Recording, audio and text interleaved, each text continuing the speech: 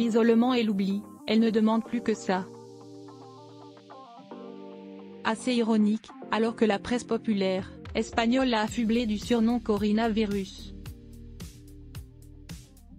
Après avoir déballé les derniers secrets de sa liaison avec Juan Carlos dans un podcast à l'automne, Corina Larsen, maîtresse du roi déchu de 2004 à 2009, fait profil bas.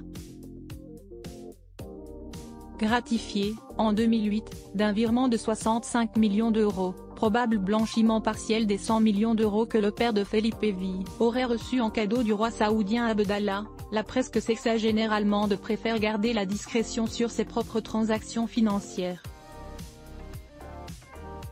Le site de Vanitati croit savoir qu'elle chercherait toujours à vendre son manoir anglais de Chicknell Hall, dans la plus stricte confidentialité avec une baisse de 17% du prix, malgré une prétendue cession du bien pour 16,9 millions d'euros.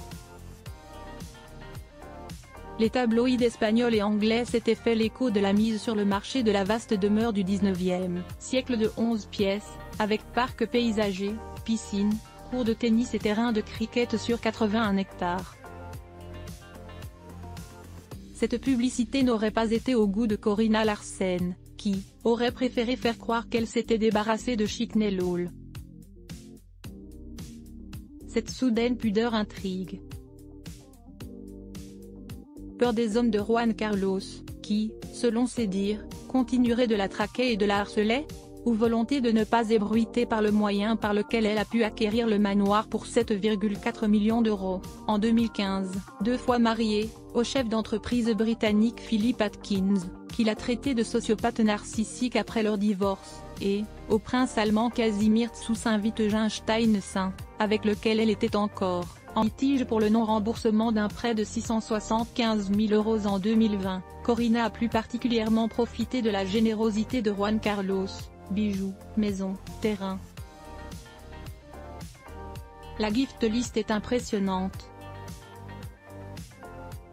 En 2018, la justice suisse, dans le cadre d'une enquête sur un compte bancaire ouvert par Juan Carlos à Genève, s'était déjà penchée sur l'acquisition de Chicknell Hall par Corinna Larsen. Elle soupçonnait alors un montage financier frauduleux entre femme d'affaires et le roi indicateur. Après plus de trois d'enquête, le ministère public suisse a toutefois abandonné ses poursuites contre Juan Carlos. Ne pouvant prouver que les 100 millions d'euros reçus du roi Abdallah résultaient d'une corruption. Corinna Larsen, elle, a soutenu que le virement de 65 millions d'euros dont elle a bénéficié était un cadeau pour les souffrances endurées durant leur liaison clandestine. L'enquête a été classée. Et à l'évidence, Corinna ne souhaite pas qu'on la rouvre.